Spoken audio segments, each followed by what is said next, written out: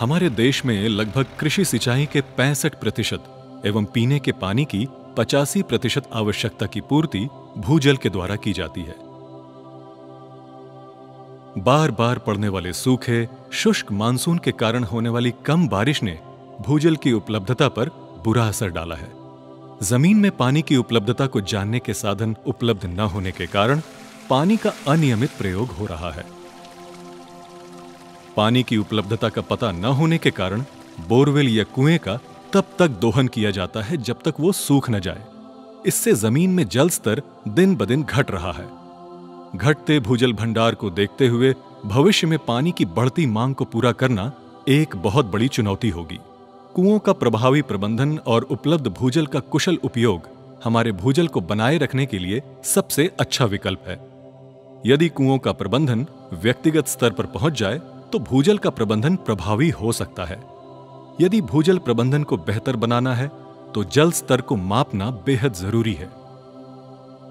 Water lab ने borewell में जल स्तर को मापने के लिए दुनिया का पहला बोरवेल मॉनिटरिंग ऐप भूजल तैयार किया है। यह एक यूज़र फ्रेंडली एंड्रॉयड आधारित बहुभाषिक ऐप है। किसानों को इस ऐप के कई फ़ायदे हैं। इसके द्वारा बोरवेल में पानी की उपलब्धता की जानकारी किसानों को मिलती है, जिससे वो अपने बोरवेल में पानी का आवश्यकता के अनुसार उपयोग कर शेष जल की बचत करेंगे।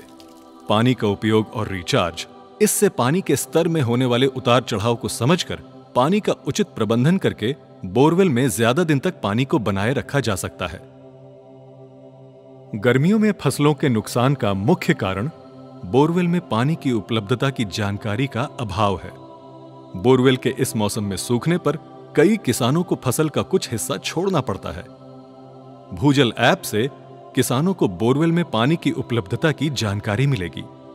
उन्हें पानी की उपलब्धता के आधार पर फ़सलों के चयन हेतु मार्ग निर्देशन दिया जा सकता है। इससे किसानों को लाभदायी कृषि पद्धतियों को अपनाने में मदद मिलेगी। बोरवेल के नियंत्रित उपयोग से पंप की मरम्मत कम हो जाएगी। बोरवेल के नियंत्रित उपयोग से बिजली की बचत की जा सकती है। आइए, अब हम कुछ किसानों के अनुभवों को सुनते हैं। अब बोरवेल का उपयोग कैसे हो रहा है? गन्ने की खेती जनवरी से शुरू होती है। उसके बाद ही हम बोरवेल का उपयोग शुरू करते हैं। इसलिए हम जनवरी से मई और मानसून तक बोरवेल का उपयोग करते हैं। हमारे यहाँ दिन में आठ घंटे और रात में दस घंटे बिजली रहती है। मैं एक सप्ताह में चार दिन बोरवेल चलाता हूँ और खेत के तालाब में पानी स्टोर करता हूँ। एक दिन के लिए बिजली बोर्ड का शटडाउन रहता है, लेकिन मैं बाकी दिनों में बोरवेल चलाकर खेत के कुएँ में पानी जमा करता हूँ और मैं फिर कुएँ से अपने खेतों की सिंचाई करता हूँ। बोरवेल के उपयोग का क्या असर है? हर किसी को सिंचाई के लिए पानी की आवश्यकता तो होती ही है। हर कोई नई फ़सल लेना चाहता है और इसलिए पानी की आवश्यकता को पूरा करने के लिए एक नया बोरवेल ड्रिल करता है। इन सब का प्रभाव यह है कि भूजल स्तर नीचे जा रहा है। हमें मई महीने के दौरान पानी की कमी का सामना करना पड़ता है। अगर हमें शुरुआत में डेढ़ इंच पानी मिल रहा है तो मई में एक इंच या आधा इंच पानी मिलता है। किसानों ने बहुत सारे बोरवेल ड्रिल किए हैं। इसलिए तो भूजल का स्तर नीचे ही जा रहा है। जनवरी में भूजल स्तर काफ़ी ऊपर रहता है, लेकिन बाद में भूजल का स्तर नीचे ही चला जाता है। और तब हमें फ़सलों के लिए पानी की बहुत कमी होती है, भरपूर कमी होती है। बोरवेल में पानी कितना है ये समझने के लिए क्या किया जाता है? नए बोरवेल में मोटर स्थापित करने के समय जल स्तर की जाँच की जाती है। मोटर स्थापित करने के बाद पानी के स्तर की जाँच कभी नहीं की जाती।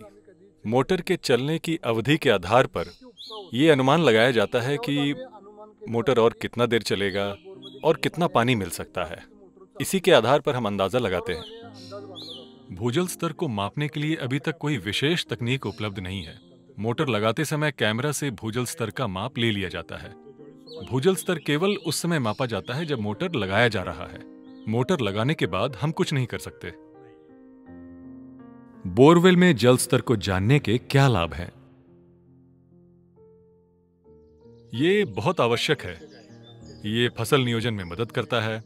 पानी की उपलब्धता के अनुसार फ़सल का चयन किया जा सकता है। बोरवेल में पानी कितना है और पानी की उपलब्धता क्या है? ये जानना किसानों के लिए बहुत फ़ायदेमंद है। किसान ये तय कर सकते हैं कि वे वार्षिक फ़सल लेंगे या मौसमी फ़सल लेंगे या फिर सब्ज़ियाँ उगा सकते हैं, ताकि अधिक से अधिक उत्पाद उन्हें मिल सके। ये लाभ है बोरवेल में जल स्तर को जान लेने का। यदि हम बोरवेल में पानी की उपलब्धता को जानते हैं, जल स्तर को जानते हैं तो हम निश्चित रूप से ये तय कर सकते हैं कि कौन सी फ़सल ले सकते हैं और कौन सी नहीं ले सकते। चाहे वो गन्ना हो, या फिर सब्ज़ियाँ हो, या फिर कोई भी दूसरी फ़सल हो। भूजल ऐप के बारे में आप क्या सोचते हैं? हमें अभी ऐप का डेमो दिया गया है। हम सभी डेमो देखकर बहुत ही खुश हैं। भूजल ऐप का उपयोग करके हम पंप करने से पहले और पंप करने के बाद भूजल स्तर को स्पष्ट रूप से समझ सकते हैं। यदि हम आठ घंटे बोरवेल चलाते हैं तो हम भूजल स्तर की गिरावट और पानी की उपलब्धता को समझ सकते हैं। ये ज्ञान हमें उपलब्ध पानी का कुशलतापूर्वक उपयोग करने और फ़सल नियोजन के लिए उपयोगी है। हम ये भी तय कर सकते हैं कि यदि पानी कम उपलब्ध हो तो ड्रिप सिंचाई का उपयोग करें। यदि हमें बोरवेल की गहराई का अनुमान है और ऐप के द्वारा जल स्तर का यदि प्रतिदिन हमने जाँच किया तो हमें ये पता चलता है कि जल का स्तर कितने फुट पर है? पचास फुट पर है या सौ फुट पर है या जितने भी फुट पर है। यदि हम दैनिक रूप से ऐप का उपयोग करते हैं तो हमें जल स्तर की गिरावट का भी पता चलेगा और ये हमें बोरवेल के लिए जल संरक्षण के लिए मार्गदर्शन करने में मदद करेगा। निश्चित रूप से अगर हम बोरवेल में पानी के स्तर को जानते हैं तो हम ये तय कर सकते हैं बहुत अच्छे तरीके से कि वर्ष के दौरान किन फ़सलों को लेना चाहिए और किन फ़सलों को नहीं लेना चाहिए।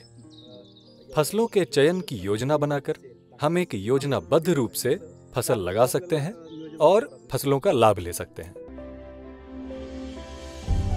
भूजल ऐप का उपयोग करें, भूजल स्तर की पहचान करें, भूजल बचाएँ, फ़सल बचाएँ।